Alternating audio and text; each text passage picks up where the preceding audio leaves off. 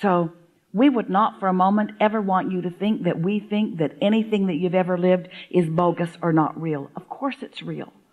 And how are you going to know what you know if you haven't had the real life experience? We just want you to know what it feels like to deliberately hook up with this source energy and allow it to flow on a consistent basis, you see. We want you to know that this is a friendly universe, that this is a loving universe, and even more important, that this is a universe interested in you, that you are important in this universe, that what you think matters, and that you contribute to this universe with every thought you think.